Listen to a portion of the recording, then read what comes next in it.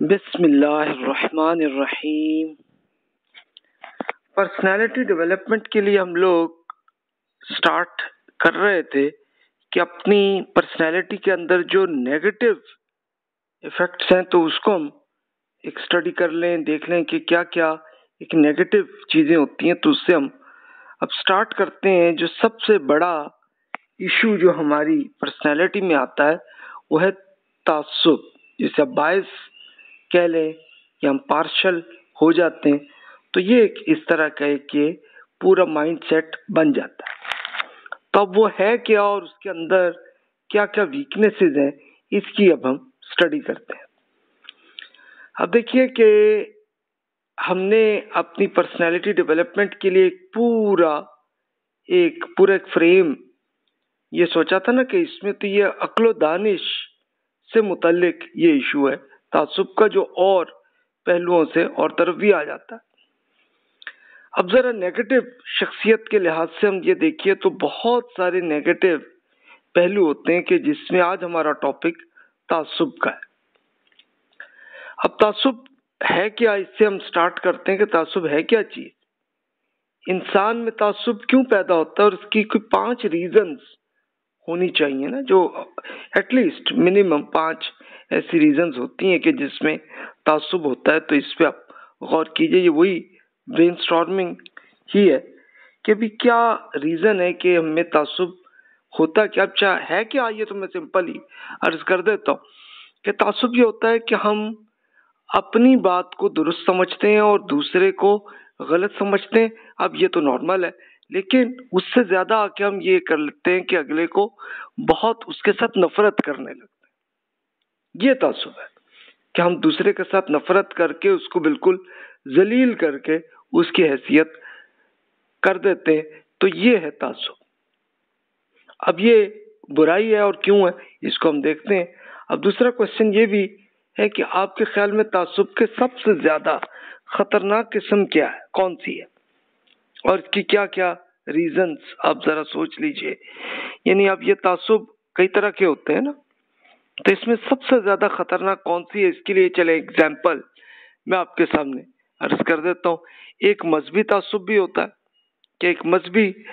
लिहाज से हमारा कोई इख्तलाफ हुआ किसी से तो हमने उनके साथ बायस, हम हो गए। अच्छा साइंस में भी ये हो सकता है कि अगर इल्मी एतबार से सोशल साइंसेस में हमें अगर किसी के पॉइंट ऑफ़ व्यू को दुरुस्त नहीं लगा तो हम उनसे नफरत करने लगे। एक ज़्यादातर होता है पॉलिटिकल वजह से भी एक तासुब होता है। तो ये तीन एग्जाम्पल्स हैं, और भी आप सोच लें, और भी बहुत सी रीजंस होती हैं।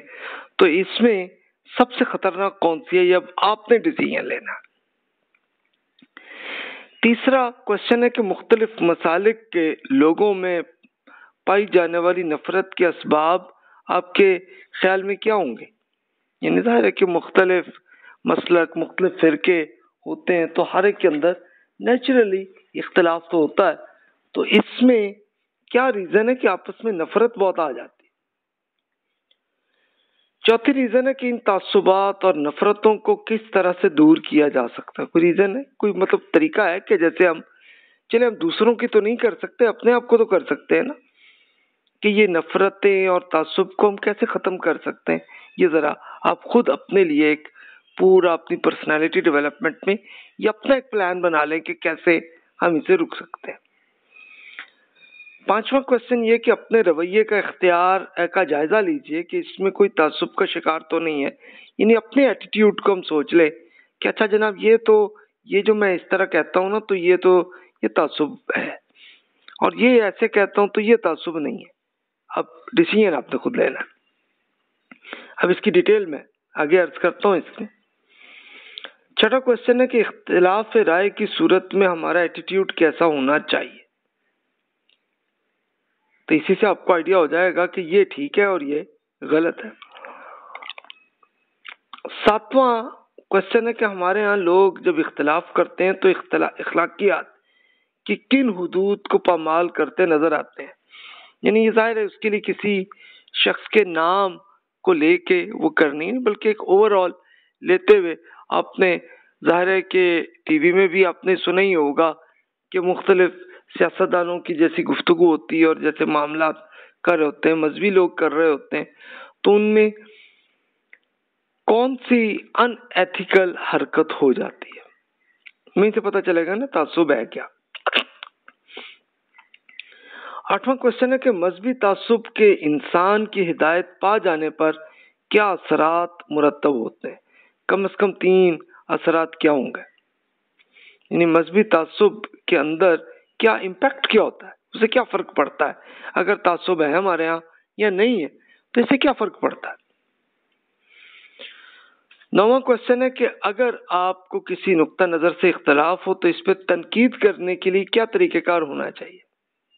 को, ऐसा भी तो हमें होना चाहिए ना प्लान हम खुद कर लें कि अगर हमें इख्तलाफ है किसी से, ये नेचुरली हर इंसान अलग तरीके से सोचता है तो इसमें फ़र्क क्या है? दसवां क्वेश्चन है कि हमारे माशरे में नीम हकीम, नीम डॉक्टर और नीम मुल्ला मौजूद है और उनके कारोबार चल रहे हैं तो इसकी बुनियादी वजह क्या है? यानी एक तो होता है ना कि एक बहुत क्वालिफाइड और बड़े एक्सपीरियंस लोग, हकीम होते हैं डॉक्टर्स होते हैं, उलमा होते हैं। एक तो वो होते हैं और एक नीम लेवल के, कि जिसकी मेच्योरिटी नहीं होती और फिर भी वो अपनी प्रैक्टिस कर रहे होते हैं। तो इसकी रीज़न क्या होती है कि वो अभी मेच्योर होने से पहले ही स्टार्ट कर लेते हैं अपना कैरियर ग्यारहवा सवाल ये है कि हम किस तरीके से अपने ईमान को हम इन लोगों से बचा सकते हैं जो इससे अपने मफाद के लिए खेलते हैं? यानी ये तासुब से रिलेटेड ये मामला होता है कि लोग हमें यूज़ कर रहे होते हैं। तो भी इससे हम कैसे बच सकें? कोई है आपके जहन में ऐसा प्लान ऐसा आइडिया हो? और प्लीज़ आप बिला तकल्लुफ आप ईमेल में मुझे शेयर भी कर लीजिएगा कि भी हाँ ये तरीका है कि हम बच सकते हैं। अब आइए हम डिटेल से बात करते हैं कि फिरका वारियत और गुरोही तासुब के प्रैक्टिकल असरात क्या होते हैं। ये वही जो हमारा क्वेश्चन जो मैंने अभी आपसे अर्ज़ किया था कि इसका शिकार जब हम पे होते हैं तो इस पे क्या रवैया आ जाता है हमारे यहाँ? उसका रिज़ल्ट क्या होता है? तो वहीं से हम स्टार्ट करते हैं। पहली एक तो ये मामला होता है कि माशरती इंतशार और फसाद हो जाता है लोग फिर लड़ते हैं। स्टार्ट तो पहले मुनाजरा की तरह करते हैं कि आपस में एक दूसरे से मिलकर बहस करते हैं उसके बाद लड़ाई की हद तक आते हैं और फिर at the end of that फिर तो बंदूक की हद तक भी, भी आ जाता है ना मामला। ये नॉर्मली आपने देखा ही होगा ऐसे केसेस दूसरा ये भी हो जाता है कि बाशूर लोगों को दीन से दूर करने का सबब भी बनता है। यानी जब आप ने खुद अपने एक्सपीरियंस सब देख ले, आपने देखा होगा कि जनाब अगर एक फिरके से ये बात चल रही है, दूसरे से ये, अगर तो नॉर्मल इख्तलाफ हो तो नो प्रॉब्लम कोई इशू नहीं होता आपको। लेकिन अगर आपस में वो लड़ रहे हो और एक दूसरे से फिर वो कत्ल की हद तक आए तो फिर आहिस्ता आहिस्ता लोग फिर मजहबी लड़ाई झगड़ों से फिर ये खुद दीन से भी इंसान दूर हो जाता है। ये मुझे भी एक्सपीरियंस हुआ है, आपको भी हुआ होगा खुद भी जरा अपने अंदर। सोच लीजिए कि कभी हुआ ऐसा? क्या सबसे मजहबी लोग काफिर? यानी अब आप देखिए कि आपको कई मज़हब के लोग या किसी फिरके के लोग दूसरों को कहते हैं कि ये काफिर है और दूसरा उनको कह रहे होते हैं। तो ये भी एक इम्पैक्ट आता है कि वो फिर एक दूसरे से नफरत का एक्सट्रीम लेवल आ जाता है। फिर गुस्ताख रसूल, गुमराह, बददीन, काफिर, मुर्तद, जिंदीक, इस तरह के ये अल्फाज आपने सुने होंगे, ये फतवे लोग एक दूसरे के खिलाफ कर रहे होते हैं। और इसके लिए कोई किसी खास का केस नहीं है, बल्कि सभी के यहाँ ये ऐसे लोग होते हैं कि जिनका ऐसा माइंडसेट होता है कि वो दूसरों को काफिर और गुस्ताख रसूल और काफिर और फिर कत्ल करने की कोशिश भी कर रहे होते एक दोस्त अबू याहिया भाई ने इसके और पहलू से भी साइकोलॉजिकली बात की कि जब इत्मीनान इस्तराब में बदल आता है तो फिर ये एक नफसियाती बहरान इंसान के जहन में आ जाता है कि यार, ये गलत क्यों है? और फिर मज़हब से लोगों की आपस में दूरी हो जाती है और नफरतें आती हैं। तो अब ये है तो अब हम देखते हैं कि ये तासुब में अल्लाह ताला के और रसूलुल्लाह सल्लल्लाहु अलैहि वसल्लम के इरशादात क्या। वहीं से हम देखते हैं तो अल्लाह ताला ने फरमाया, बिस्मिल्लाहिर्रहमानिर्रहीम, यौमा तुकल्लबु वुजूहुहुम फिन्नारी यकूलून, या लैतना अतअना अल्लाह व अतअना रसूला। वक़ालू रब्बना इन्ना अतअना सादतना व कुबराना कुबराना सबीला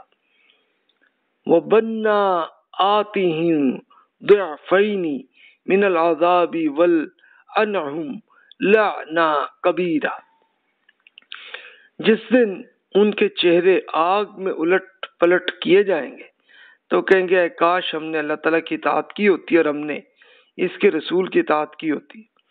और कहेंगे हमारे रब हमने अपने सरदारों और अपने लीडर्स की बात मानी थी।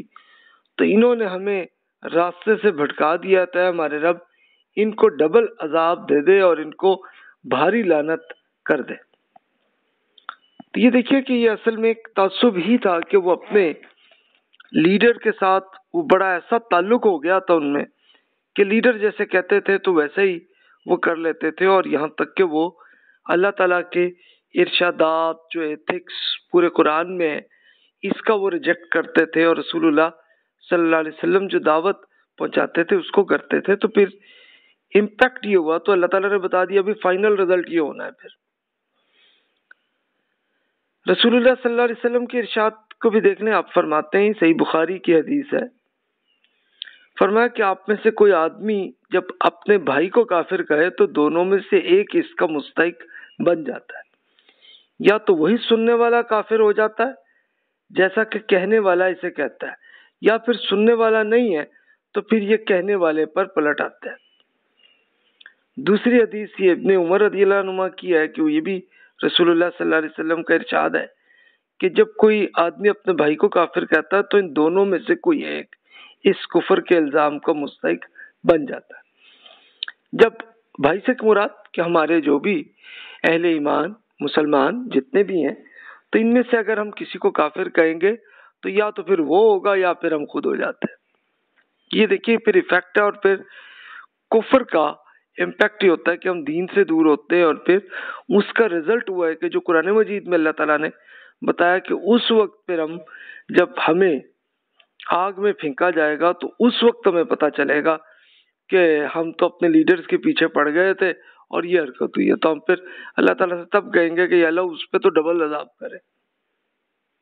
तो ये होगा इम्पैक्ट तो भी हमारे पास तो अभी टाइम है, ये ज़िंदगी है। तो इस ज़िंदगी में अभी हम डिसीज़न ले सकते हैं कि हम जन्नत की तरफ़ जाएँ या जहन्नम में। तब ये आता है क्या हम गैर जानबदार रह सकते अब ये बताइए पॉसिबिलिटी क्या हम तासुब से बच सकते हैं? तो ये मेरा क्वेश्चन है। इस पे अब आप खुद सोचिए कि हम कैसे इम्पार्शल बन सकते हैं। इस पे हम गौर करते हैं। अब ये देखिए, एक वहीदुद्दीन खान साहब, इंडियन स्कॉलर है उन्होंने। एक एक बड़ी अच्छी, खूबसूरत एग्ज़ाम्पल दी एग्ज़ाम्पल ये थी कि ये मैंने पहले भी अर्ज़ की थी कि अभी एक आदमी जा रहा था तो इसने एक बोर्ड देखा तो कहा, ये तो ग्रीन कलर का है। और दूसरा जो है, दूसरी तरफ़ से आ रहा था कहता, नहीं भी ये तो नीला है, और वो आपस में बहस कर रहे थे। एक दूसरे नहीं भी ये ग्रीन है, वो कहता, नहीं, ये ब्लू कलर का है, आपस में बहस कर रहे थे। तीसरा वहाँ से गुजरा कहने का, भाई, आप यूँ करें कि आप बोर्ड की जरा बैक को भी आप देख लें? देखा तो पता चल गया कि जनाब एक तरफ़ से ग्रीन है, एक तरफ़ से ब्लू है। तो सेम असल में यही सिचुएशन होती है। कि मजहबी मामला में भी जो इख्तलाफ होता है, वो इसी नौयत का ही होता है। उसके यहाँ कोई ये नहीं होता, यानी नमाज़ तो सभी पढ़ रहे होते हैं, रोज़ा, हज, जक़ात सभी कर रहे होते हैं, लेकिन कोई माइनर सा कुछ इख्तलाफ हो जाता है और उसमें आपस में लड़ाई, झगड़े और तासुब की शक्ल आ जाती है। इसके लिए वो देखते हैं हम, जो इमाम शाफी रहमत जो 820 सी के उनका इंतकाल हुआ था, उस जमाने के बुज़ुर्ग हैं। उन्होंने ये बयान किया, दीन के उसूली और बुनियादी मामला में तो हम ये समझते हैं कि ये कंफर्म है कि हम जी बिल्कुल दुरुस्त रास्ते पे हैं। और अगर कोई इख्तलाफ कर रहा है तो भी उनकी गलती है। लेकिन जो इश्तिहादी और फरोई मसाइल, यानी जिसमें इंसान लॉजिकली सोचता है तो इसमें हम समझते हैं कि अगरचे हम ये समझते हैं कि हम अपने आप को दुरुस्त समझते हैं, लेकिन फिर भी ये चांस है कि भी हम गलत हो और दूसरा दुरुस्त हो। कि अगर इख्तलाफ हो रहा है तो हो सकता है दूसरा दुरुस्त हो। अब एक European scholar barter and Russell जो 1970 में उनका इंतकाल हुआ तो उनका, उन्होंने अपने यूरोप के अंदर मजहबी लोगों का जो एक्सपीरियंस उन्होंने देखा तो वो उसमें बयान करते हैं, उसका तर्जुमा जो काजी जावेद साहब ने तर्जुमा किया हुआ तो वो मैं आपके सामने शेयर कर देता हूँ। फिर हम ज़रा मैच कर सकते हैं कि जो इमाम शाफी और वहीदुद्दीन खान साहब ने जो फरमाया था तो सेम वही चीज़ है। अब वो कहते हैं बटर एंड रसल के जब दो साइंसदानों में कोई इख्तलाफ होता है तो वो इख्तलाफ के दौर के दूर करने के लिए सबूत तलाश करते हैं। कोई प्रूफ कोई एविडेंस लेने की कोशिश करते हैं। जिसके हक में ठोस और वाजे एविडेंस मिल जाते हैं तो वो एक सीधे रास्ते पर आ जाते हैं कि ये सही बात है। ऐसा इसलिए होता है कि साइंसदान होने की हैसियत से इन दोनों में कोई भी खुद को बेखता ख्याल नहीं करता, ये नहीं समझता कि नहीं जी, मैं तो कभी गलत नहीं हो सकता। तो वो चांस होता है कि ठीक है, भी हो सकता है, गलती मुझसे हुई हो। तो इख्तलाफ हो तो वो अपना एविडेंस सामने रखते हैं। दूसरा जो साइंसदान है, वो दूसरा एविडेंस लेता है, फिर उस पर दोनों मिलकर एक डिसीज़न कर लेते हैं। दोनों समझते हैं कि वो गलती पे है, इसके बरखिलाफ जो मजहबी लोग हैं, उनमें इख्तलाफ जब पैदा होता है तो दोनों अपने आप को माबरा माबरा अनिल खता ख्याल करते हैं कि नहीं जी, हमारी तो गलती है ही नहीं जी, दूसरे की वो समझते हैं कि जी, कोई गलती हो ही नहीं सकती हमारे यहाँ।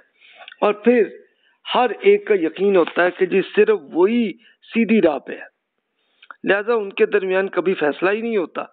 और बस ये होता है कि दोनों एक दूसरे से नफरत करने लगते हैं, क्योंकि दोनों को यकीन होता है कि वो, कि दूसरा ना सिर्फ़ गलती पे है, बल्कि राह हक से हट जाने के बायस गुनागार भी है। इस सूरत में ज़ाहिर होता है कि जज्बात भड़क उठते हैं और एक अकली मसाइल हल करने के लिए एक आपस में फसाद वो फिर पैदा हो जाता है। तो देखिए कि ये एविडेंस है ये उन्होंने यूरोप की सिचुएशन बयान की है और हकीकता हमारे यहाँ भी ऐसे ही है। तो सेम इस तरह की सिचुएशन आ जाती है। तो अब आप खुद जरा मैच कर लीजिए कि वहीदुद्दीन खान साहब ने और इमाम शाफी का और बर्टर एंड रसल ने जो जो सिचुएशन बयान की है तो क्या ख्याल है कि तीनों की बात एक ही है? या आप खुद लॉजिकली देख लें कि ऐसा ही है।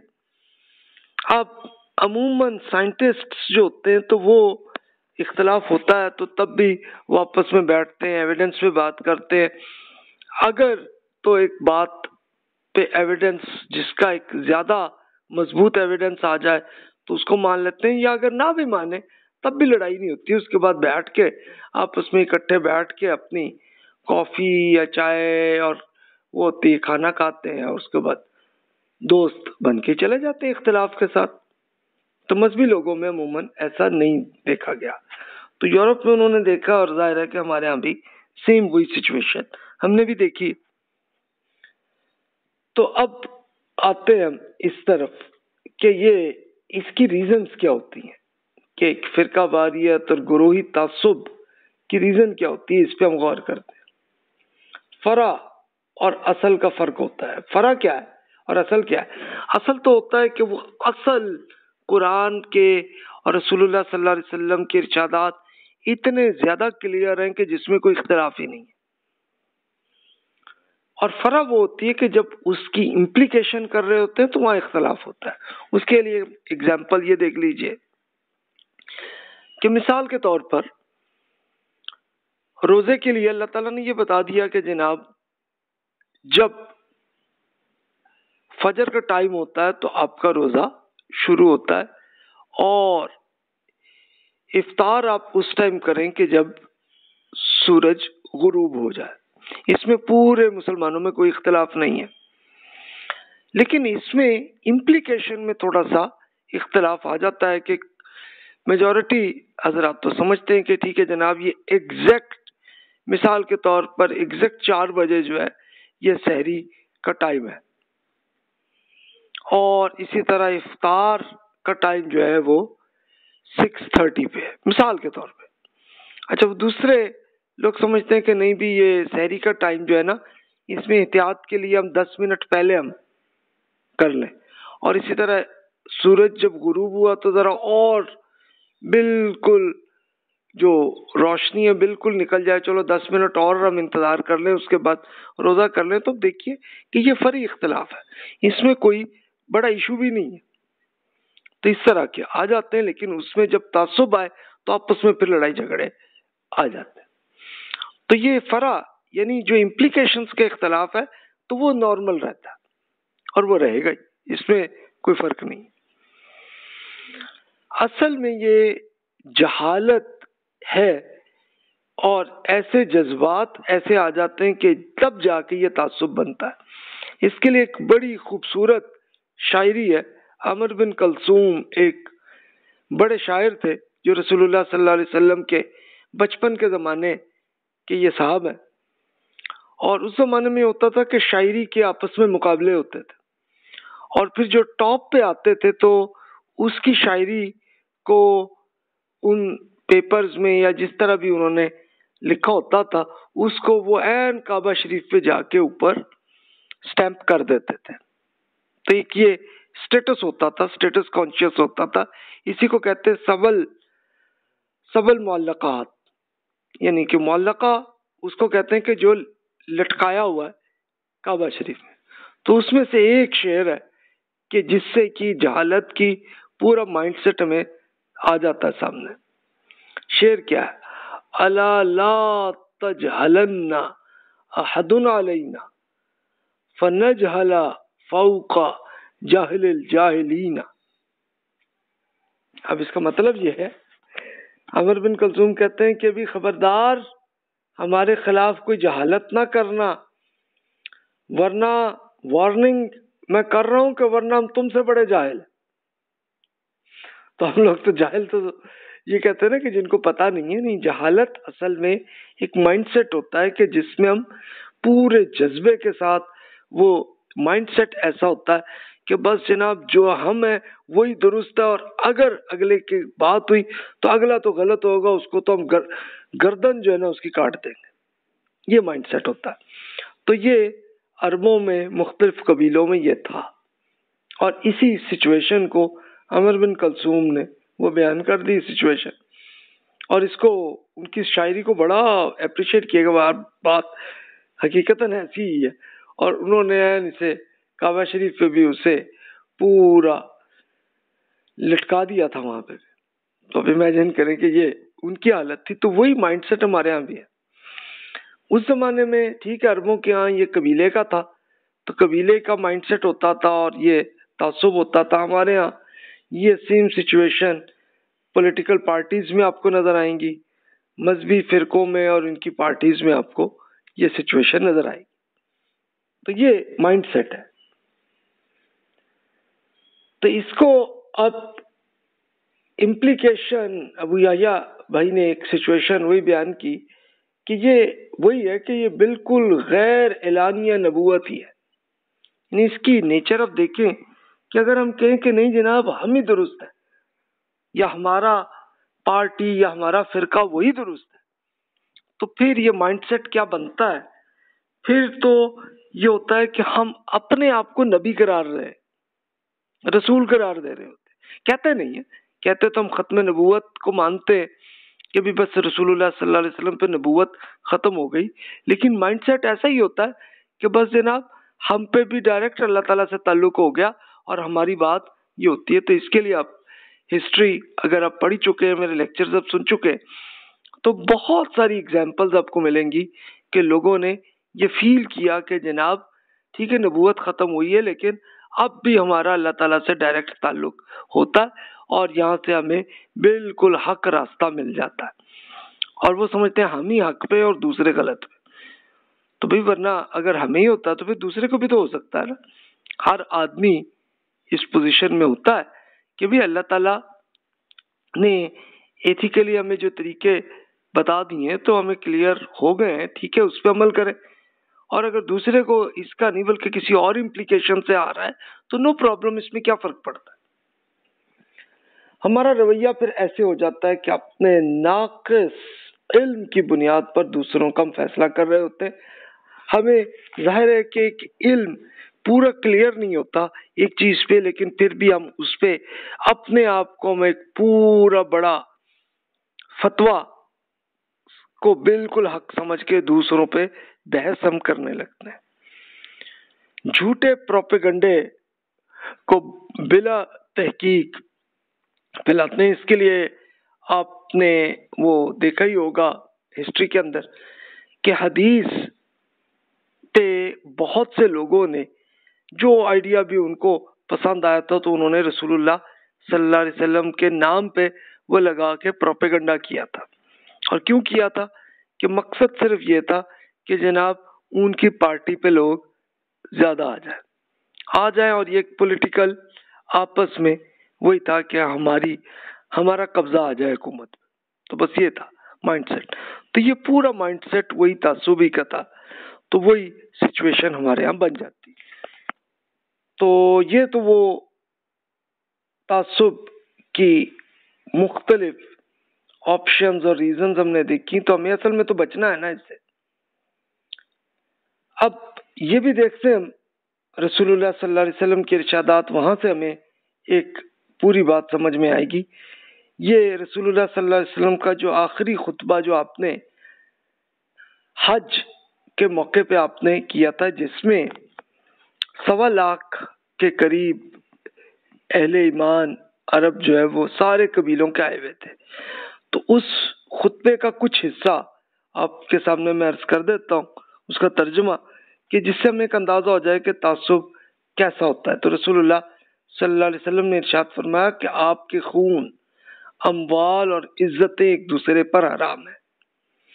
इस दिन, यानी औरफा जिस वक्त, वो दिन जब हज होता है उस शहर और ये महीना इसकी हुरमत के मानंद है। क्या मैंने आप तक बात पहुँचा दी है? तो साहबा कराम ने सुना तो अर्ज़ किया कि जी बिल्कुल, हमने समझ ली बात। यानी बात आपने क्या फरमाई कि ये बिल्कुल खून अमवाल क्या है कि आपका एसेट्स जितने भी हैं, जो आपकी इन्वेस्टमेंट है, जो कुछ भी है कैश है, सब कुछ, और आपकी इज़्ज़त। ये सब चीज़ें हराम है। हराम का मतलब क्या होता है? हराम का मतलब ये है कि जिससे हम छीन नहीं सकते, जिससे हम कुछ नहीं कर सकते। कि यानी रसूलुल्लाह सल्लल्लाहु अलैहि वसल्लम ने इसे क्लियर कर दिया कि जनाब, हर इंसान का खून, माल, इज़्ज़त, इसका स्टेटस वही है कि जैसा हज का है मकम कर्मा का है। और ये जो महीना है कि जिसमें हज होता है तो उस लेवल के स्टेटस का है इसलिए इससे आपने ये एहतियात करनी है कि किसी को खून, माल और इज़्ज़त पे आपने कुछ टारगेट नहीं करना। फिर इसी मौके पे आपने मजीद इर्शाद फरमाया, देखिए, मेरे पास दोबारा काफिर ना बन जाइएगा कि आप एक दूसरे की गर्दनें मारते फिरे। तो यही तसुब असल में अरब में पहले ही था और वो उनका माइंडसेट ऐसा ही था कि वो एक दूसरे को लेके और एक दूसरे को कत्ले करते रहते होते थे, हर कबीले। तो रसूलुल्लाह सल्लल्लाहु अलैहि वसल्लम ने उन्हें समझा दिया कि भाई, अब आप ईमान ले आए तो अब ना कीजिएगा ऐसा। कि एक दूसरे की गर्दनें ना काटिएगा। फिर फरमाया, मुसलमान को गाली देना फिस्क गुनाह है और इससे कताल करना तो कुफर है। कि अब कुफर की फिर डेफिनेशन भी बता दी कि किसी भी अहले ईमान को, किसी भी मुसलमान को कत्ल करना जो है, ये कुफर है और किसी को गाली देना भी फिस्क है। मुसलमान से मुराद हर आदमी के जो ईमान ला चुका है, मुसलमान और जो गैर मुस्लिम, जितने उनके लिए भी वही स्टेटस है। उनको भी हम गाली नहीं दे सकते, उनको भी कत्ल नहीं कर सकते। उसके लिए ज़ाहिर है कि कुरान मजीद में अल्लाह ताला ने एक ऑप्शन बस बता दी थी कि अगर जुर्म किया, किसी ने किसी को कत्ल किया तो फिर हुकूमत को इजाज़त दे दी कि वो एक अदालत के प्रोसेस के बाद वो कत्ल कर सकती है। और इसी तरह हुकूमत पे वो कर दिया कि जनाब अगर कोई जुल्म करने के लिए आ जाए तो फिर आप उसमें एक्शन कर सकते हैं। बस उतनी ऑप्शन है, उससे ज़्यादा नहीं। फिर रसूलुल्लाह सल्लल्लाहु अलैहि वसल्लम फरमाए मुसलमान वो है कि जिसके हाथ और ज़ुबान से दूसरा मुसलमान महफूज रहे। जिसने हम मुसलमानों पर हथियार उठाया, वो हम में से नहीं है।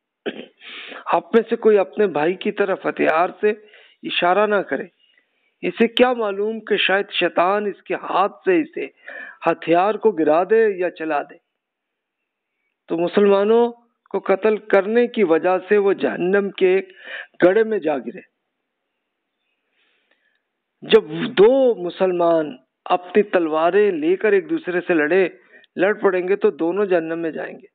साहब ने अर्ज़ किया कि अल्लाह के रसूल, एक तो कातिल है कि जिसने जहन्नम में जाना ही है तो ये जो मकतूल हुआ, इस पे क्या कसूर है? तो आपने फरमाया इसलिए कि इसने अपने मुसलमान साथी को कत्ल करने की कोशिश तो की है। फिर फरमाया, आप में से कोई आदमी जब अपने भाई को काफिर कहे तो दोनों में से एक इसका मुस्तक बन जाता है।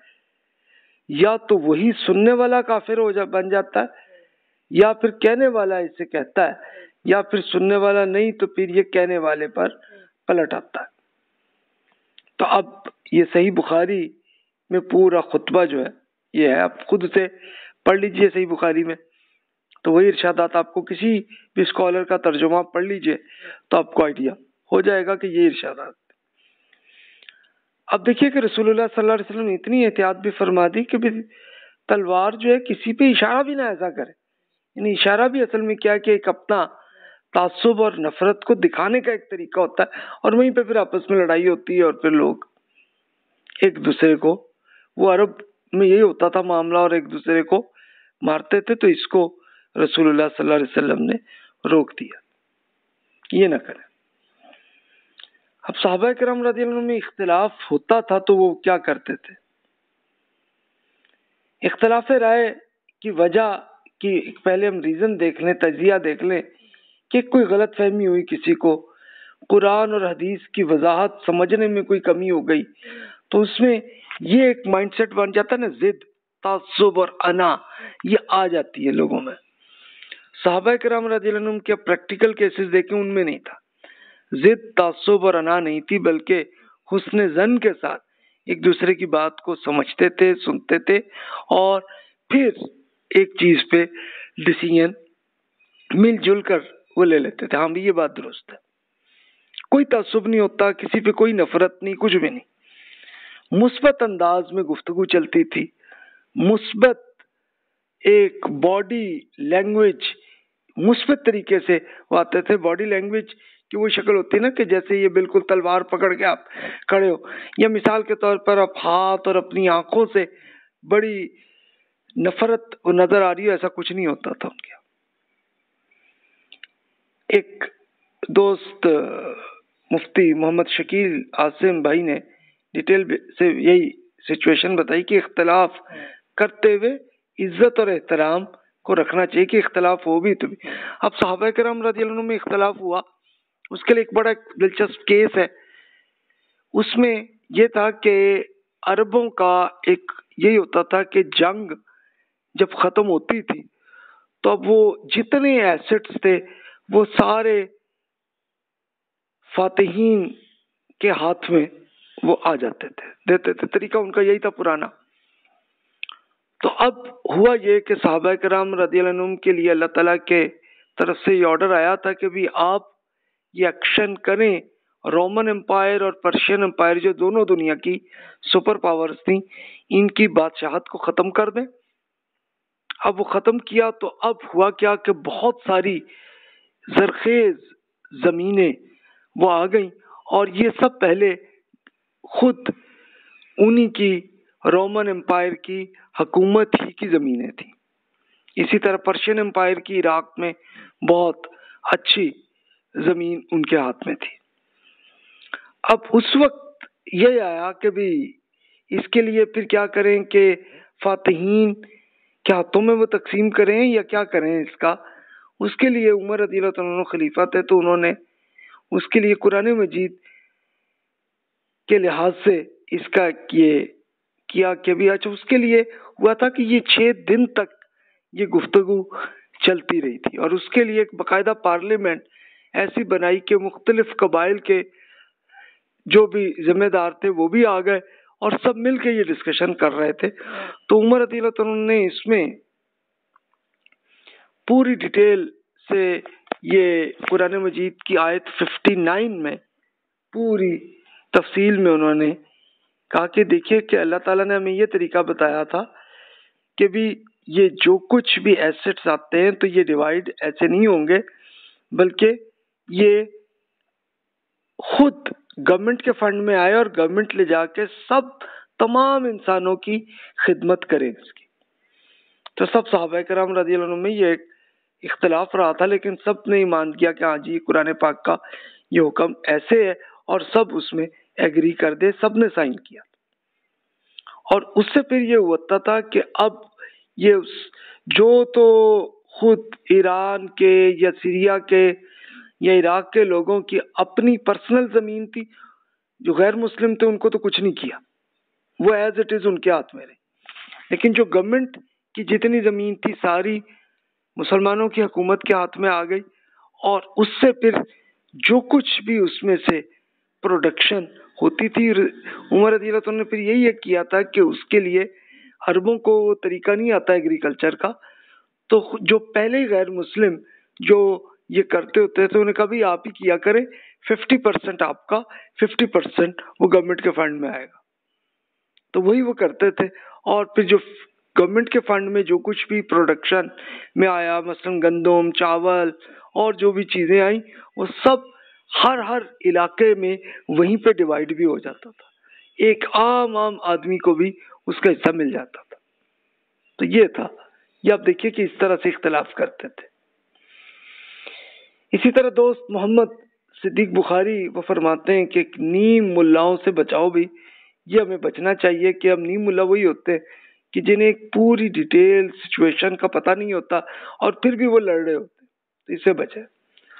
और एक ये मैं अर्ज़ करता हूँ ऐड के जाली आदि से बचें, इसलिए कि एक ज़माने में कि जब ये सियासी लड़ाई झगड़े में रसूलुल्लाह सल्लल्लाहु अलैहि वसल्लम के सौ साल बाद ये हादसा हुआ कि मुसलमानों में हुआ तो उसके लिए बहुत से लोगों ने प्रोपेगंडा के तौर पर जाली आदीस वो ईजाद की थी और उसके बाद फिर जिन स्कॉलर्स ने किताबें लिखी तो वो उसी के अंदर आ गए। तो इसके लिए हमें बचना चाहिए कि जितनी जो रसूलुल्लाह सल्लल्लाहु अलैहि वसल्लम के इरशादात कंफर्म हो जाए, बस उसको रसूलुल्लाह सल्लल्लाहु अलैहि वसल्लम का इरशाद समझना चाहिए और बाकी जो चीज़ अनऑथोराइज अनऑथर की जो जो क्लियर नहीं है और जो जाली है, इससे हमें बचना चाहिए। इसको ज़यीफ और फिर मरदूद अहदीस कहा जाता अब आप कहेंगे, आपको मालूम कैसे हो? तो इसके लिए मैं ये अर्ज़ कर दूँ कि अब तो बहुत सारी वेबसाइट्स ऐसी बन गई हैं, अभी तक तो अरबी में तो आपको अगर एक हदीस मिलती है तो आप उसका वो अरबी में कोई ख़ास कीवर्ड जो है वो ढूंढ लें और उसी वेबसाइट पे आप सर्च करें, वो आपको पूरी डिटेल बता देंगी। इसको हदीस रिसर्च पे आप गूगल में सर्च करें, आपको वो वेबसाइट्स मिल जाएँगी। उसमें आप सर्च करें तो वो मिल जाएँगी और उसमें फिर जिन लोगों ने रिसर्च की उस ज़माने में मुहदसिन जिन्हें कहते हैं उनका वो भी मिल जाएगा आपको कि जनाब ये जाली हदीस है और ये वाली ये सही हदीस है। सही से मुराद होती है कि जो ऑथेंटिक हदीस है, कि जो रिलायबल है कि जिसमें आप समझ सकते हैं कि ये सही है, काबिल एतमाद है। तो इस तरह से कर ले। क्योंकि हमारे यहाँ जितने भी फिरके बने तो वो जाली हदीस और नीम मुल्ला की बेस पे ही ये तासुब की बुनियाद पे ही बने इससे हमें हमें बचना चाहिए। अब ये एक दोस्त मंजूरुल हसन भाई ने एक इख्तलाफ राय का एक सही रवैया कैसा होना चाहिए, उन्होंने एक सजेशन दी है तो वो मैं आपसे शेयर कर देता हूँ। आप देख सकते हैं और खुद आप, खुद जरा अपने आप को मैच कर ले कि अभी हम भी ऐसे ही अगर इख्तलाफ हो जाता है किसी से तो हम कैसे एटीट्यूड हमारा क्या होता है। अब पहला ये हमें करना चाहिए कि जिस शख्स पर तनकीद की जा रही है इसका नुक्ता नज़र पूरी दयानतदारी से समझना चाहिए। पहले समझ लें उनका पॉइंट ऑफ़ व्यू क्या है और क्या रीज़न है, जैसे वो फरमा रहे हैं। दूसरा स्टेप ये करना चाहिए हमें, अगर इसे कहीं बयान करना मकसूद हो तो बेकमो कास्ट यानी बगैर किसी कमी या इजाफे के बयान किया जाए। यानी अगर किसी दोस्त का, भाई का, किसी भी मुसलमान भाई का, किसी स्कॉलर ने कोई इरशाद फरमाया और हमें दुरुस्त नहीं लगा। तो लेकिन उनकी बात जैसा कि उन्होंने बयान किया सेम वैसे ही बयान करें। वो ये नहीं कि अगले ने कुछ फरमाया हो, हमने कुछ और उसका कहानी बना के वो कर दें, ये नहीं करना चाहिए। अब तीसरा, ये भी हमें करना चाहिए कि जिस दायरे में तनकीद की जा रही है, अपनी बात इसी दायरे तक महदूद रखी चाहिए। यानी इख्तलाफ जहाँ पे हुआ अब तनकीद, एक होती है नेगेटिव एक होती है पॉजिटिव कि भी बस इख्तलाफ है कि भाई ये पॉइंट ऑफ़ व्यू दुरुस्त नहीं लग रहा। तो उसमें इसी तरह करें कि बस वही लिमिट तक रखें। अब ये नहीं कि जनाब अगले की नीयत पे भी पहुँच जाए। कि जनाब उन्होंने ये कहा, उनकी नीयत खराब है। नहीं जी, बस उन्होंने जो फरमाया है, जैसे फरमाया है, बस उतनी बात ही हो, उससे अगली बात ना हो। और उसमें कोई इजाफा हम ना करें। फिर ये भी है कि अगर कोई इल्ज़ाम या मुकदमा कायम किया जाए तो वह हर लिहाज से साबित और मौके हो। यानी अगर कोई इख्तलाफ हुआ या मुकदमा से मुराद की कोई इख्तलाफ पे डिस्कशन अगर हो रही है तो इसमें हर लिहाज से साबित, जितना प्रूफ आपको, जितना एविडेंस है, वो एविडेंस आप सामने ले आए। पांचवा ये भी है कि इख्तलाफ हो तो मुखातिब की नीयत पर हमला नहीं किया जाए, बल्कि इस्तदलाल तक महदूद रहा जाए। इस्तदलाल का मतलब कि जो उन्होंने रीज़न इरशाद फरमाई है, बस वही उसकी बयान करें, उनकी नीयत पे ना आए और उनकी इज़्ज़त भी। वो रसूलुल्लाह सल्लल्लाहु अलैहि वसल्लम ने हमें बता दिया कि उनकी इज़्ज़त भी हमारे लिए वो मोहतरम रहनी चाहिए हमेशा। किसी को बेइज्जत नहीं करना हमने। फिर मजीद नंबर सिक्स, ये भी हमें ख्याल करना चाहिए, नंबर फाइव करना चाहिए कि मुखातिब की नीयत पे हमला ये तो बात हो गई। और नंबर सिक्स ये कि बात को इतफाक से, इख्तलाफ की तरफ़ ले जाया जाए, ना कि इख्तलाफ से इतफाक की तरफ़। यानी असल में हमें इख्तलाफ जहाँ हुआ तो उससे हम फिर इतफाक लाने की कोशिश करें। ये नहीं कि इतफाक है, फिर भी हम ज़बरदस्ती इख्तलाफ ईजाद करने की कोशिश करें। इससे बचना चाहिए हमें। फिर सेवन पॉइंट ये कि पेश नज़र इब्ताल। अबताल नहीं, बल्कि इसलाह होनी चाहिए। यानी अगर इख्तलाफ हो रहा है तो अगले को बातिल करना कि ये बस जो है वो उनकी बकवास है, ये नहीं करें।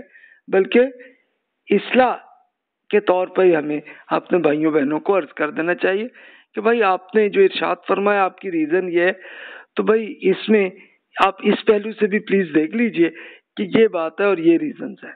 आप अपनी दलाइल बयान कर दें, बस इतनी बात। उसलूब बयान शाइस्ता हो। कि गुफ्तु भी ऐसे अच्छे तरीके से हो कि अगला महसूस ना हो, उसे कोई तकलीफ़ ना हो। और नौवा पॉइंट ये है कि अगर गौर किया जाए तो शाज ही हमारी कोई तनकीद इस मैार पर पूरा उतरती हो। तो अनफॉर्चुनेटली हमारे यहाँ ये कि बहुत कम ऐसे केस आपने देखे होंगे कि इख्तलाफ हुआ हो तो पूरी इज़्ज़त के साथ ही इख्तलाफ किया हो। वो फिर भी हमारे यहाँ लड़ाई हो ही जाती है। अनफॉर्चुनेटली ये केसेस हो जाते हैं तो इससे हमें बचना चाहिए। इस पर गौर करें कि जनाब अगर फॉर एग्ज़ाम्पल वो हमारी गलती को बयान कर रहे हैं, और वो उस पर तो हमें, क्या वो बुरा लग रहा है या अच्छा लग रहा है? अगर उनका इख्तलाफ बड़ी इज़्ज़त के साथ कर रहे हो तो हमें बुरा नहीं लगेगा। और हमें भी फील हो जाए कि अच्छा यार, मेरी गलती है तो ठीक है, हम ठीक हो जाते हैं। अब कुरान मजीद के इर्शादात से हम एक केस स्टडी देखते हैं। केस स्टडी अल्लाह ताला ने बयान कर दिए मजहबी लोगों के बारे में। सूरतुल बकरा में इर्शाद हुआ। आमन वल्लजीन हादु वन नसारा वसाइब वसाबीना मन आमन बिल्लाहि वल यौमिल आखिरी वअमिला सालिहन फलहुम अजरुहुम इंद रब्बिहिम वला खौफुन अलैहिम वला हुम यहज़नून यकीनी तौर पर जान लीजिए कि जो लोग अब ईमान लाए हैं यानी मुसलमान या वो लोग जो यहूदी ईसाई साबी हो गए जो भी अल्लाह ताला और आखिरत के दिन पर ईमान लाए और नेक अमल करते गए तो इसका अजर उनके रब के पास है। इसे ना तो मुस्तकबिल के अंदेशे लाक होंगे और ना ही माजी के पछतावे होंगे। तो देखिए, अल्लाह ताला ने मजहबी तौर पे सारे तासुब को ख़त्म कर दिया। बता दिया कि हर आदमी की जो अल्लाह ताला पे ईमान लाए और आखिरत में अल्लाह ताला से मुलाकात पे यकीन रखे और नेक अमल करे तो फिर कंफर्म हो गया उनके लिए गारंटी कि वो जन्नत में पहुँचने वाले हैं, कि जिसमें ना कोई अंदेशा होगा और ना ही कोई पछतावा कि यार ये गलती कर बैठे तो ये सब के लिए अल्लाह ताला ने बयान कर दिया। फिर मजीद एक सिचुएशन ये केस स्टडी वो है कि इरशाद हुआ वह तला इब्राहिम रब्बुहु बिकलिमातिन फातम्महुन्ना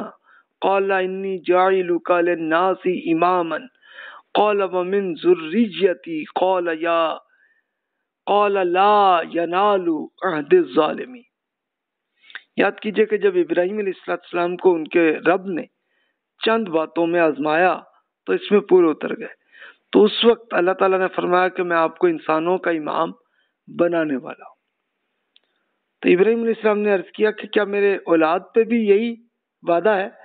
तो अल्लाह ताला ने फरमाया कि नहीं, मेरा वादा जालिमों से मुतलिक नहीं। यानी अब आप ये देखिए कि इसमें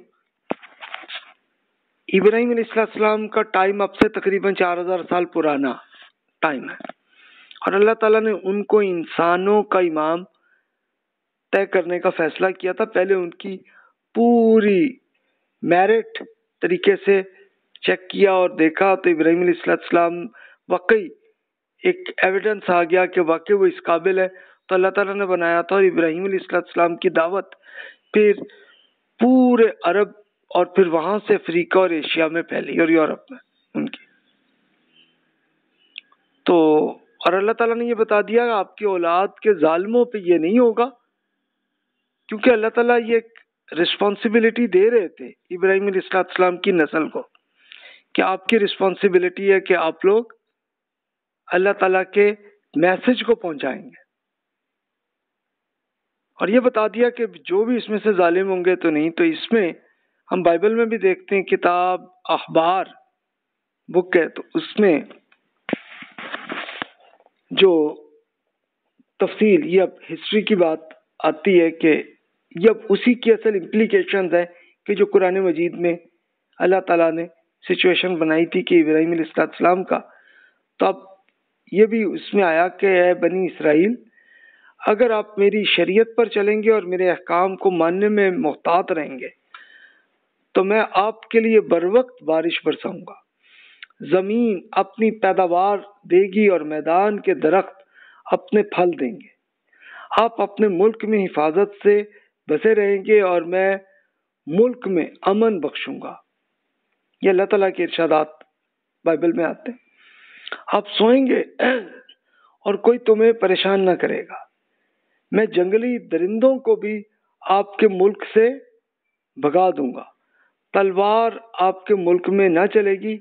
आप अपनी दुश्मनों का ताकुब करेंगे और वो आपके आगे तलवार से मारे जाएँगे। आपके पाँच आदमी सौ को उखाड़ फेंकेंगे और आपके सौ आदमी दस हज़ार पर गालिब आएँगे। अब ये क्यों उनको बनी इसराइल, जो इब्राहिम इस्लाम के बेटे इसहाक इस्लाम की जो नस्ल थी तो उनको इस लेवल पे क्यों किया गया कि उन्होंने अल्लाह का मैसेज पहुंचाना है तो इसमें उनको ये बेनिफिट दिए गए कि भाई ये होंगे। अगर आप अल्लाह ताला के शरीयत पे अमल करेंगे अच्छा फिर ये दूसरी भी सिचुएशन भी बता दी कि अगर आप मेरी बात नहीं मानेंगे, शरीयत पे अमल नहीं करेंगे तो मेरे अहद की खिलाफ वर्जी करेंगे। तो मैं नागहानी दहशत, गला गहला देने वाली बीमारियाँ और बुखार को तुम पर भेजूँगा और तुम्हारी बिनाई सलब कर लेंगे और तुम्हारी जान ले लेंगे। तुम बेकार बीज बोगे लेकिन उसका फल तुम्हारे दुश्मन खाएँगे। मैं तुम्हारा मुखालिफ बन जाऊँगा और तुम अपने दुश्मनों से शिकस्त खाओगे। मैं तुम्हारे ऊपर आसमान को, लोहे और नीचे ज़मीन को कांसी की बना दूँगा, यानी तुम्हें इसमें कोई फ़ायदा हासिल नहीं होगा। ज़मीन तुम्हें पैदावार ना देगी और ना मुल्क के दरख्त तुम्हें फ़ायदा देंगे। मैं तुम्हारे खिलाफ जंगली दरिंदों को भेजूँगा, वो तुम्हारे बच्चों को भी उठा ले जाएँगे। और तुम्हारे मवेशियों को तबाह कर देंगे। मैं तुम्हारे शहरों में खंडरात में तब्दील कर दूँगा, तुम्हें कौमों में मुंतशिर कर दूँगा। तुम अपने दुश्मनों के मुल्कों में रहोगे, जब तक वो दुश्मनों के मुल्क में रहेंगे। मैं उनके बिल्कुल मुस्तरद ना करूँगा और ना ही इसके साथ ऐसी नफरत करूँगा कि इनके साथ अपने अहद को तोड़कर इन्हें फना कर दूँ। मैं खुदावंद इनका खुदा हूँ। तो ये अब हज़रत इसहाक की जो नस्ल थी तो पहले उनको रिस्पॉन्सिबिलिटी थी कि अल्लाह ताला का मैसेज पहुंचाना है। अब उनको बेनिफिट भी दे दिए और बताया कि अगर अल्लाह ताला की शरीयत पे अमल नहीं करोगे, इसी दुनिया में तुम्हें सजा दूँगा। और सजा की एग्जाम्पल्स वो बता दी उन्हें। और प्रैक्टिकली यही हुआ। उसके लिए हिस्ट्री आप खुद पढ़ लीजिए ज्यूज और क्रिश्चियंस ने जो अपनी अपनी हिस्ट्री लिखी है, उसको आप देखिए, इब्राहिम इस्लाम का मैसेज फिर इनकी जो नस्ल थी, हज़रत इसहाक इस्लाम की, उन्होंने ये देखिए कि ये फलस्तीन के एरिए में इनकी हुकूमत बन गई थी और वो अल्लाह ताला का मैसेज अफ्रीका, यूरोप, एशिया तरफ़ पहुँचा रहे थे। और एक दूसरी नस्ल थी, वो हज़रत इस्माइल अलैहिस्सलाम की थी तो वो अरब में थी। वो इसी तरह वहाँ पे अल्लाह ताला का मैसेज पहुँचा रहे थे। अब रिज़ल्ट इनमें क्या हुआ? जब देखिए, उन्हीं की हिस्ट्री ये खुद बाइबल के अंदर ही पूरी हिस्ट्री उन्होंने लिखी हुई है कि हज़रत मूसा इस्लाम और उनके जो सहाबा कराम यूशे और कालिब रदीलानुमा इनके ज़माने में ऐसी फतह हुई थी कि पूरा फलस्तीन उनके हाथ में आ गया था, आसानी से। अब ये 1300 टू 1200 बीसी का पीरियड है। और उस हज़रत मूसा इस्लाम के ज़माने में अल्लाह ताला ने अहकाम अशरा, जिसे टेन कमांडमेंट्स कहते हैं, वो इर्शाद हैं तो बाइबल में आप पढ़ लीजिए। और आप इसे मैच कर लें, कुरान मजीद के भी वही अहकाम आते हैं। अब सूरा बनी इसराइल में पढ़ लीजिए। सेम वही है कि मेरे हुजूर, तुम गैर मबूदों को ना मानना, यानी शिरक नहीं करना। आप किसी भी चीज़ की सूरत का खा खा वो ऊपर आसमानों में या नीचे ज़मीन पर या पानियों में ऐसा बुत ना बनाना किसी भी चीज़ का बुत नहीं बनाना आपने, चाहे आसमान, ज़मीन, पानी, किसी की भी कोई चीज़ को नहीं करना आपने। तुम खुदावंद अपने खुदा का नाम बुरी नीयत से ना लेना, क्योंकि जो इसका नाम बुरी नीयत से लेगा, खुदा इसे बेगुनाह ना ठहराएगा। यानी अल्लाह ताला के नाम पे कोई बुरी नीयत ना करना। यानी अल्लाह ताला के नाम से मुराद यही होगी कि भी अल्लाह ताला की शरीयत में कोई हुक्म नहीं है और हम उसे अल्लाह ताला की शरीयत बना दे उसे। बिदत जिसे कहा जाता है। इससे रोक दिया गया। सबत, यानी हफ़्ते के दिन को याद से पाक रखिएगा। छह दिन आप मेहनत से काम कीजिएगा और सातवां दिन अल्लाह ताला की सबत है इस दिन। ना तो आप कोई काम करेंगे, ना आपका बेटा, बेटी, नौकर, नौकरानी चुपाए और आपके मुकीम मुसाफिर कोई काम करेंगे। तो एक दिन अल्लाह ताला ने ये किया कि खास आपकी एथिक्स के लिए आपने बिल्कुल एतकाफ जैसी हालत में रहना। और हमारे लिए भी अल्लाह ताला ने वही रखा कि जुम्मे में, लेकिन हमारे लिए एक, अब अल्लाह ताला ने पूरा फिर वो मैसेज पूरी दुनिया को पहुंचाना था तो इसलिए टाइम को बहुत कम कर दिया। अब जुम्मे को देखिए कितना आधा घंटा, एक घंटा ही होता है ना। तो बस वही है कि अल्लाह की इबादत का टाइम। और बाकी आप जो जो चाहे करें। फिर फरमाया कि अपने बाप और माँ की इज़्ज़त करना और तुम्हारी उम्र इस मुल्क में जो अल्लाह ताला तुम्हें देता है, इसको दराज हो तुम पे तुम पे बरकत हो कि अपने माँ बाप की इज़्ज़त करना। तुम किसी का खून ना करना। तुम बदकारी ना करना। चोरी ना करना। तुम अपने पड़ोसी के खिलाफ कोई झूठी गवाही ना देना। यानी किसी के खिलाफ कोई प्रोपेगंडा नहीं करना, किसी पे झूठ गवाही नहीं करनी। और फिर फरमाया कि तुम अपने पड़ोसी के घर का लालच ना करना। तुम अपने पड़ोसी की बीवी का लालच ना करना। और ना इसके गुलाम या कनीज का, ना उसके बैल या गधे का, ना किसी और चीज़ का। तब आप ये खुद आप कुरान मजीद में, सूरह बनी इसराइल में आप कर लें तो सेम वही अहकाम आपको वहाँ पे भी मिल जाएँगे हमारे लिए। बस थोड़ा सा फ़र्क इतना आया कि जो सबत का एक दिन इबादत का था, वो हमें सिर्फ़ एक घंटे का या आधे घंटे का ही कर लिया, इतना ही। वरना बाकी सब अहकाम वही अच्छा अब देखिए, उस पर बनी इसराइल, उस पर अमल करने लगे। उनमें कोई तासुब नहीं था। स्टार्ट में कबायली रियासतें बनी और फिर कबाब, यानी जजेस की एक हुकूमत बनी, लेकिन आपस में उनके लड़ाई झगड़े होने शुरू हुए थे। तो फिर शिकस्त भी हुई थी। ये twelve hundred to one thousand BC का पीरियड हो गया। लेकिन फिर उन्होंने तौबा कर ली। अल्लाह ताला के अहकाम पे अमल किया। एक दूसरे के साथ एथिक्स पे रहे, तासुब को छोड़ा। तो फिर हज़रत फालूत रहमत ये बादशाह बने। फिर उनके बाद हज़रत दाऊद अलैहिस्सलाम और फिर सलेमान अलैहिस्सलाम ये पीरियड 1000 टू 930 बीसी का है तो ये दुनिया की सबसे बड़ी सुपर पावर बने। और वहाँ से फिर ये अल्लाह ताला के मैसेज को पहुँचाने लगे। इसके बाद फिर इन्होंने इनफात किए। तो फिर इन पे एक सजा भी आई। ये इराक में इनको 600 टू 400 बीसी के जमाने में गुलाम बना दिया गया है। उसके बाद फिर नेकी उन्होंने की तो फिर इनको ठूक सही हो गया सिलसिला। जुलकर नैन रहमत जब वो बादशाह ईरान के बने थे तो इन्होंने उनको आज़ाद किया था। लेकिन फिर इन्होंने इन्हें रफात किए और यही टेन कमांडमेंट्स पे अमल नहीं किया। हज़रत ईसा का इनकार किया। तो फिर अल्लाह ताला ने इनको ईसा के पैरोकारों रोमन एम्पायर के गुलाम बना दिया इन्हें। ये सेवेंटी सी से इनकी सजा जारी हुई है। और फिर मोहम्मद रसूलुल्लाह सल्लल्लाहु अलैहि वसल्लम के इनकार के बाद फिर इन पे मुसलसल गुलामी की सजा जो 629 से आज तक है, उसके लिए आप ये देखिए, अभी कहने को तो कहीं इसराइल उनका एक अलग मुल्क तो बन गया है, लेकिन वो अंडर अमेरिका के अंडर ही रहता कि वो हज़रत ईसा इस्लाम के पैरोकारों के अंडर ही रहे और उससे पहले ये मुसलमानों के अंडर रहे और फिर बीच में जूते भी पड़ते रहे। मसला हिटलर ने बड़ी उनको सजा दी है। तो ये एक एग्ज़ाम्पल क्यों है कि वही उनमें तासुब आया, लड़ाई झगड़े हुए तो आपस में ये रिज़ल्ट आया। और अपने यहाँ देखें तो हमारे यहाँ भी यही टेन कमांडमेंट्स है।